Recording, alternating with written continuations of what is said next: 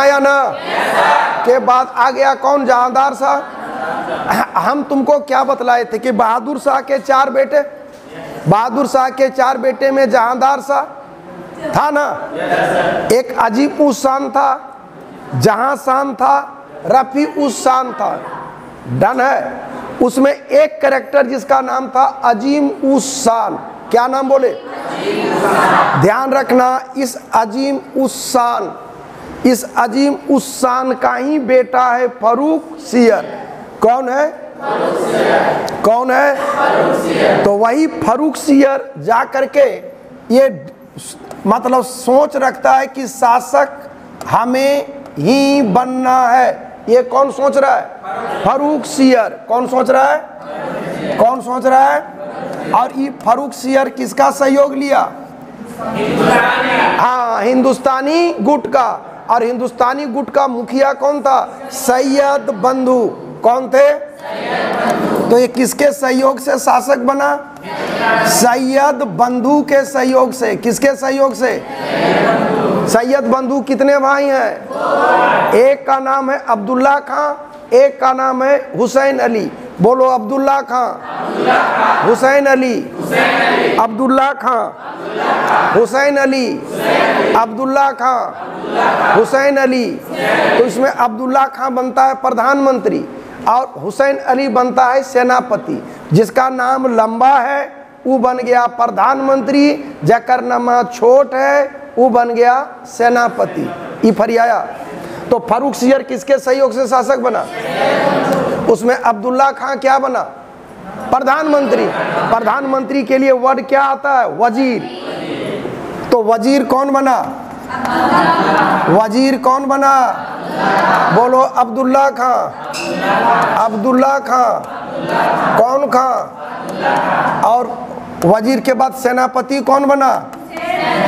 आए? सेनापति हो गया हुसैन अली। कौन अली? कौन अली? आप जरा सोचो कि एक भाई प्रधानमंत्री है, एक भाई सेनापति है। तो संपूर्ण सत्ता की बागडोर दो भाई के हाथ में कैद है कि नहीं? हम तुम लोगों को क्या बतलाए कि फरूक सियर अपने दम पर शासक बना नहीं है? यह भी बेहद अयोग्य शासक है। इसके पास शासन की कड़ियों को जोड़ने, तोड़ने की क्षमता नहीं है प्रशासन के काम को परिभाषित करने की भी क्षमता नहीं है। किसको? फारूक सियर को। तो टोटल एडमिनिस्ट्रेशन एक भाई वज़ीर के रूप में अब्दुल्ला खां और सेनापति के रूप में हुसैन अली खां। यही वो दोनों भाई है जो पूरे शासन के काम को इतमान से चला रहा था। बात समझ में आ गया? हाँ या ना? हाँ या ना? अब यहाँ खेला क्या हुआ? ये तो हिंदुस्तानी गुट का था।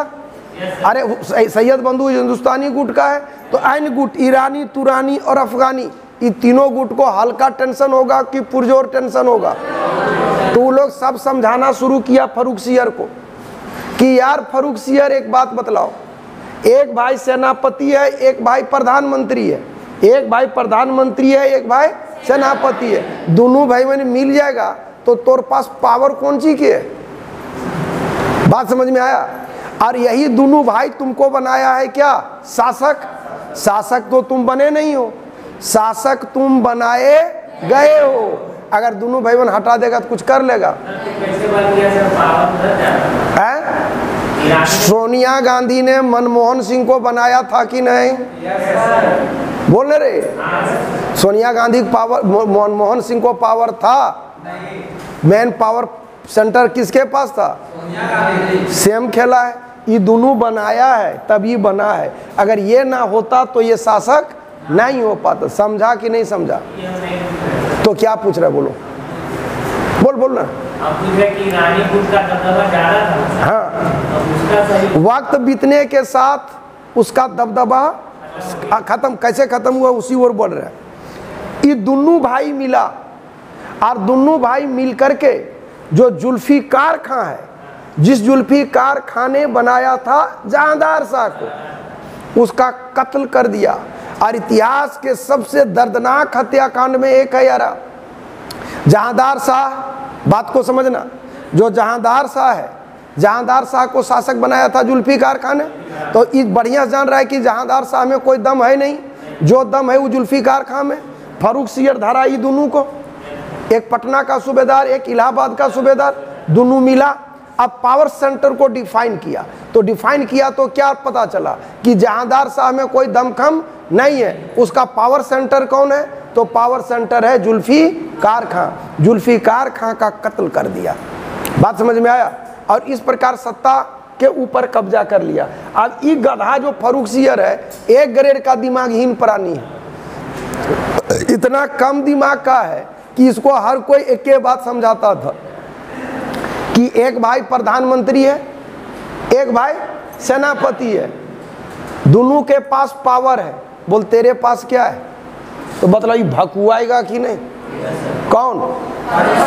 अब लोग भाई पैदा करना शुरू किया कि तुम शासक बने नहीं हो, फरूख सियर। शासक बनाए गए हो। आज तुमको बनाया है। कल किसी और को बनाएगा। तो तुम हो कहाँ? ये सब चीज़ जो सुनता था ना तो इसका जिगर, गुर्दा, किडनी, फेफड़ा, सब धीरे धीरे सिकुड़ना शुरू हो जाता था। भकुआ जाता सवाल था कि बोल, करें तो करे क्या? तो कहा कि, तुम एक काम करो, दोनों भाई बहन को मरवा दो। ये कौन कह रहा है? अन्य गुट वाले। तो फारूक सियर षडयंत्र रचता है। कौन षडयंत्र रचता है? कौन षडयंत्र रचता है? कौन षडयंत्र रचता है? ध्यान रखना। ये जो उसमें से एक भाई को भेजता है दक्षिण भारत। दक्षिण भारत में अगले को कह दिया कि हम फलाना को भेज रहे हैं, उसको काट देना। मेरी बात समझ में आ रही है? हाँ या ना? कि हम एक भाई को भेज रहे हैं, जो जा रहा है, उसको पकड़ के कतले हम कर देना। तो अगला प्रिपेयर है। और ये जो जा रहा है, सैयद बंधु में एक भाई, बात को समझना। तो रास्ते में पता चल गया, थाद बिहारी ने, कि हमको जिसके पास भेजा है, उसको कह दिया है कि उसको पकड़ के काट देना। ये रोक दिया सीधे, देखना बिहारी बुद्धि का कमाल। और अकेले चल गया उसके पास, जिसको फारूक सियर ने कहा था कि जाएगा तो मार देना। बात समझ में आया जो हम कहानी समझा रहे हैं उसको? हाँ या ना? जैसे हम तुमको कहें कि जग बरवाडा के राजा को मारो बरवाडा के राजा को हम कहें कि जा रहा है फलाना, उसको तुम काट देना। अब इसको पहले पता चल गया कि हमको जिसके पास भेज रहा है वो हमको काटेगा। अभी रास्ते में रोक दिया अपना जो भी सेना तेना था। और अकेले चल जाए किसके पास? बरवाडा के राजा के पास। और राजबाग जाके कहे कि हमरा भेजा है, तोरा काटने सीन समझ में आया? तो हुसैन जो बिहारी कहे, बोले कि बिहारी कमाल का बुद्धि होता है यार। ये जो सैयद बंधु में जिस भाई को भेजा वो रास्ते में अपना सैनिक रोक दिया। और दक्षिण भारत के वो राजा के पास चल गया। और वो राजा को कहा कि हमको बोला है फरूक सियर, तुमको काटने। तो बदला उसका टावर हल्का छोड़ेगा पूरा छोड़ेगा? अब उस अला भकुआ गया वो कहा कि रे हमको कहा है, तुमको काटने का क्या बात कर रहे हो? हम सेना लेके आ रहे थे, चल के देख लो। हमको जानकारी मिली कि जो खेल हमारे साथ खेल रहा है वो तेरे साथ भी खेल रहा है तो हम सेना रोक दिए। तब हम तेरे पास आए। तो बदलाव चोर चोर मोसेरा भाई होता है? या मोसेरा भाई, फुफेरा भाई, चचेरा भाई सब हो जाएगा कि नहीं? अब दोनों आ गया एक मंच पर। अब यहीं पर निर्णय लिया गया कि काहे ने हम एकरे मार दें? किसका? यारा, एक बात बतलाओ, मुगलों की ज़ुबान से निकली हुई हर बात एक ईश्वरीय आदेश होता था। यारा, शिकारियों का पूरा जत्था उठ के राजा के पास जाता था कि, हुजूर, आप क्या खाइएगा? अगर कह दिया कि आज हिरन का मांस खाना है या खरगोश खाना है तो शिकारियों का दल सवेरे से ही चल जाता था शिकार खेलने। मतलब यूरोपीय कंट्री का राजा वर्ड पर गौर करना, यूरोपीय कंट्री का राजा का ये सपना होता था कि मुगलों के सेनापति के बराबर की हैसियत अगर हो गई मेरी तो हम समझ लेंगे कि बहुत बड़े राजा हैं। बात समझ में आ रहा है? मुगलों के सेनापति के बराबर की हैसियत हो गई तो अब मैं समझूँगा कि मैं बहुत बड़ा राजा हूँ। इस सीन समझ में आया? हाँ या ना? और आज फरूक सियर इतना कमज़ोर है, आज फरूक सियर इतना जर्जर है कि अपने ही अधिकारी को मारने और हटाने का षड्यंत्र रच रहा है। कमाल की कायरता है या नहीं? yes, अरे बादशाह कहा गया है मुगलों को। बात समझना राजा नहीं कहलाया है कई स्टेप ऊपर है। बादशाह कहलाया राजाओं का राजा। आज वही इतना कमज़ोर है कि अपने अधिकारियों को हटाने पर षड्यंत्र रचता है। तो इस तरह का व्यक्ति कायर व्यक्ति ही करेगा कि नहीं? राजा होके षड्यंत्र रचना कायरता है कि नहीं? घृणित काम है या नहीं? इसलिए ये क्या कहलाया? घृणित कायर। क्या कहलाया? क्या कहलाया? क्या कहलाया? घृणित कायर। क्या कहलाया? कौन कैरेक्टर पढ़ रहे हो? कौन कैरेक्टर है? किसके सहयोग से है? किसके सहयोग से? वज़ीर के पद पर कौन था? सेनापति के पद पर। अभी पूछेंगे, वज़ीर के पद पर। वज़ीर के पद पर। सेनापति के पद पर। वज़ीर के पद पर। सेनापति के पद पर। वज़ीर के पद पर। सेनापति के पद पर, वज़ीर के पद पर, सेनापति के पद पर घृणित कायर कहलाया। पक्का है? और इसने गिरफ़्तार किया था सिखों के नेता बंदा सिंह को। किसको? किसको? बंदा सिंह को। और कहा कि तुम इस्लाम को स्वीकार करो। बंदा सिंह ने कहा कि मैं इस्लाम स्वीकार नहीं करूँगा। तो कहा कि दो लाख रुपया दो। कहा कि हम सन्यासी आदमी हैं, कहाँ से पाएँगे दो लाख रुपया? नहीं दिया। अंत में इसको फांसी की सजा दे दिया। किसको? बंदा बहादुर उसी का नाम है। बंदा सिंह के भी नाम से जाना जाता है। तो बंदा बहादुर को फांसी की सजा किसने दिया? बंदा बहादुर को फांसी की सजा। बंदा बहादुर को फांसी की सजा। बंदा बहादुर को फांसी की सजा। किसको? बंदा बहादुर। कौन बहादुर? बंदा बहादुर। को क्या मिला? फांसी।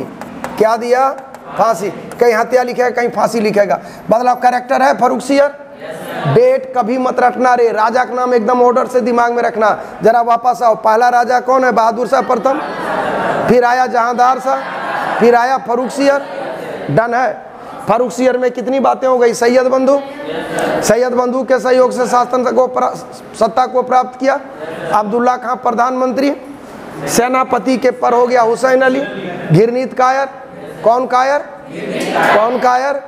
और बंदा बहादुर को फांसी की सजा। बंदा बहादुर को? बंदा बहादुर को? जानते हो इसको एक जानलेवा फोड़ा हुआ था। फोड़ा बुझा रहे? गुर्रा जकरा बोलता है रे। फोड़ा। बचपना खूब होता है पश्चिम बंगाल में? बात समझना। जी धीरे धीरे समझेगा सर। तो जानदार फोड़ा हुआ था, मैंने मैया हो, बप्पा गे कर रहा था। तो इस फोड़ा को जिस डॉक्टर ने फोड़ा था, उस डॉक्टर का नाम था सुरमन। सुरमन। अबे, ये सब पूछता है। आगे पढ़ाएँगे कंपनी में। तो फोड़ा, किसने फोड़ा? नहीं, हैमिल्टन। डॉक्टर का नाम था हैमिल्टन। तो फोड़ा किसने फोड़ा? हैमिल्टन। लेकिन पैसा नहीं लिया। हाँ जान बचा दिया, पैसा नहीं लिया। आगे चल करके कंपनी, ईस्ट इंडिया कंपनी के का एक जत्था पहुँचता है फरूख सियर के पास। और कहता है कि, हुजूर, माय देखो, अंग्रेज़ों का पहले, जैसे नेम बोलता है, तुम लोग गुड मॉर्निंग, गुड इवनिंग। तो संबोधन का शब्द होता था, आपके सेवक, आपके पुत्र, आपके कृपा पात्र, ये शब्द औकात थी अंग्रेज़ों की भारत में। आगे चल करके शासक बन गया यार। खैर, हम उस वक्त नहीं क्रांति किए थे तो हंसो मत। जी, राजेश ये नहीं था। राजेश चल गया था सिंधु घाटी में खुदाई करने, और वहीं से जानते जीवित अवशेष में देख रहे हो दुगो लाया है सो तो ये जो करेक्टर था तो वही कहा कि हमको बिना टैक्स दिए व्यापार करने की सुविधा प्रदान किया जाए। तो वही 1717 ईस्वी में कंपनी को व्यापारिक सुविधा प्रदान किया। मरना, लेकिन भूलना मत, नहीं तो सातों विद्या नाश हो जाएगा। तो फरमान कब जारी किया? 1717 में। फरमान जारी कब किया? फरमान जारी कब किया? फरमान जारी कब किया? फरमान जारी कब किया? और यहीं पर एक संधि हुआ था जो दिल्ली की संधि के नाम से जाना जाता है। तो दिल्ली की संधि हुई थी 1719 में। इस पर विशेष चर्चा हम लोग करेंगे, जब मराठा पढ़ाएँगे तब। वो संधि कहलाया दिल्ली की संधि। दिल्ली की संधि। तो दिल्ली की संधि का कड़ी यही है बाबू, कि वो अंग्रेज़ों, इसका मुगल और पेशवाओं के बीच संधि है। तो दिल्ली की संधि कब है? 1719 में। दिल्ली की संधि? कौन सा कैरेक्टर पढ़ रहे हो? फ- कौन पढ़ रहे हो? फिर से बोलो। ज़ोर से बोलो। प्यार से बोलो। किसके सहयोग से है? किसके सहयोग से? किसके सहयोग से? किसके सहयोग से? क्या बंदा बहादुर को फांसी दिया है? क्या घृणित कायर कहलाया है? फरमान 1717 है। दिल्ली की संधि 1719 है। दिल्ली की संधि, दिल्ली की संधि, दिल्ली की संधि, दिल्ली की संधि, दिल्ली की संधि। फरमान फरमान फांसी किसको दिया है? फांसी किसको दिया है? फांसी किसको दिया है? फांसी किसको दिया है? रटा गया। इसका गला घोट के हत्या किया है। अरे टोटवा दाब के मारा है। किसको? हाँ इसको। अरे गधवा नहीं बोले, ये दोनों जब षडयंत्र रचा तो लगा कि काहे ने हम इसको गला घोट के मार दें? तो फरूख सियर का गला घोट कर हत्या कर दिया गया। तो मारा गया ही अब हो गया सैयद बंधु को टेंशन कि साला राजा ढेर बोका होगा तो ओकरा कोइयो बहका देगा? नहीं बोल रहा अरे भकुआ गया क्या तो नहीं कि राजा बहुत भारी बोका होगा तो उसको कोई भी क्या करेगा? बाका नहीं, मार नहीं देगा बाका देगा। बाका देगा तो फिर षड्यंत्र रचेगा। तो अच्छा और दूसरा समस्या ये था कि अगर ढेर तेज होगा अगर बाबर, अकबर बाबर टाइप पर हुमायूं शाहजहां टाइप पर हुआ, जरा सा भी पावर देगा। तो बहुत तेज हो तो प्रॉब्लम और बहुत बोका हो तो प्रॉब्लम बोका होगा तो बहका देगा। बोका होगा तो कोई बहका देगा, लुलवा देगा लुलू लुलू कर देगा। और ढेर तेज होगा तो बिल्कुल पावर किसी को नहीं देगा। इसलिए सोचा कि अबरी ऐसा कैरेक्टर ढूंढा जाए, जो न ढेर बोका हो और ना ढेर तेज हो। तो अबरी खोजा जिसको, उसका नाम है रफी उदरजात क्या नाम है?